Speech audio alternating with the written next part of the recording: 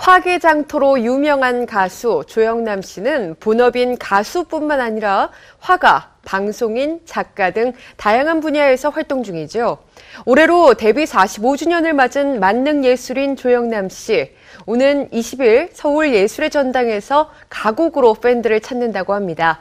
조영남 씨 하면 또 의리의리한 집이 화제가 되곤 하는데요. 이보람 기자가 다녀왔습니다. 데뷔 45주년을 맞은 가수 조영남이 가곡의 밤이라는 주제로 예술의 전당 무대 위에 오릅니다. 지난 11일 취재진은 서울 청담동에 위치한 조영남의 자택을 찾았는데요.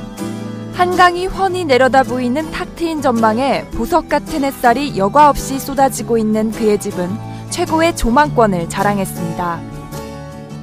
여기가 위치적으로 서울에서 제일 근사한 데야. 물이 이렇게 와서 꺾어지는 자리야, 여기가. 모퉁이에 집이 있는 거지. 이거, 이보다 이상, 좋은 자, 집터가 없어. 아무렇게나 세워놓은 듯한 다양한 크기의 캔버스는 개성 넘치면서도 세련되고 멋진 분위기를 연출했는데요. 팝아트의 한 영역을 차지하는 화가 조형남으로도 유명한 조형남. 그가 그린 그림 중 소장 가치가 높은 작품은 수천만 원에서 억대를 호가한다고 합니다. 1억으로 판 적도 있어. 5천만 원, 뭐 1억 그렇게 판 적 있어. 경매 때. 내 머리는 유전자로 그런 걸 여러 가지 할 수 있는 유전자로 좋은 유전자를 받은 거지. 그게 뭐야? 재수지. 재수잖아. 근데 이 조물주가 참 공평한 게 나한테 그림, 음악, 글 이런 걸 주는 제 대신 포장을 엉망을 포장을 잘못했어. 포장이 엉망이야. 조영남의 방 역시 캔버스와 액자들이 빼곡히 자리하고 있었는데요. 이, 게 내가 제일 좋아하는 태극기야. 그의 트레이드 마크라 할 수 있는 커다란 뿔테 안경 또한 눈길을 끌었습니다. 혹시 뭐 옷, 옷에 맞춰서 이렇게 바꾸기도 하고 그래요? 때때로 그 기분 날 때. 네. 조영남은 부와 명예 그리고 재능까지 거머쥐며 남부럽지 않은 삶을 사는 만능 예술인이라고 불리는데요. 그 비결은 무엇일까요? 절박하면서 나오지.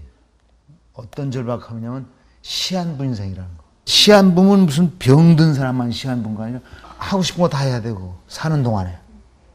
그게 무슨 내가 특별한 얘기가 아니야. 내가 바, 로 그런 사람이야. 재밌게 살다가 죽는 거. 하지만 그 역시도 어려운 분야가 있다는데요.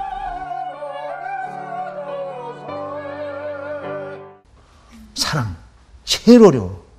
나는 그 사랑을 위해서 돈 벌었고, 어, 사랑을 위해서 그림을 그리고 책도 쓰고 그 목적이 그거야. 그리고 그 목적 때문에 얼굴 수술도 했고 눈 수술 멋있게 보려고. 진짜 진짜 왜 하신 거예요? 근데? 아 어쩌다가 내가 연세대학교 에비슨 장학금이라는 게 있어 그 음악회를 내 돈 들여가지고 그 자선으로 정말 해줬거든. 근데 이 친구들이 고맙잖아. 그 고마움을 갚으려고 우리 병원에 한번 들려주세요. 들려주세요. 그래서 어쩌다가 이제 들린 거야. 성형 수술한 사실을 고백한 조영남은 수술 결과에 만족스러운 눈치였습니다. 또 하라고 하면 하실 의향도 있으신 거예요?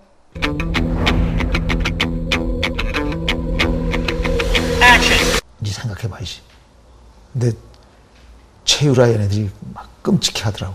하지 말라고.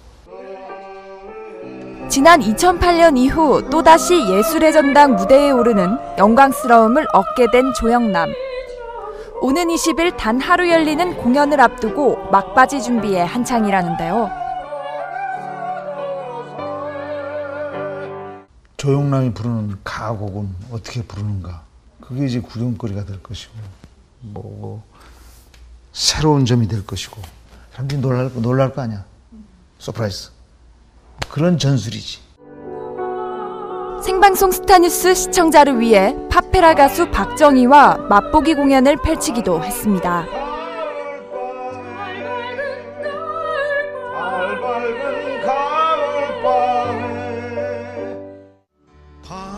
가수, 화가, 방송인 등 다양한 예술 분야에서 종횡무진 활약 중인 조영남은 자서전을 쓰고 있다고 밝혔는데요. 자서전 그거 스티브 잡스 분량 두껍게 하재 정리하고 있었죠. 금년 말 아니면 어, 내년 초쯤 되지 않을까? 도전하는 자세와 자신이 한 일을 후회하지 않는 위풍당당한 조영남은 이 시대의 영원한 청춘이 아닐까 싶습니다. 와이스타 이보람입니다.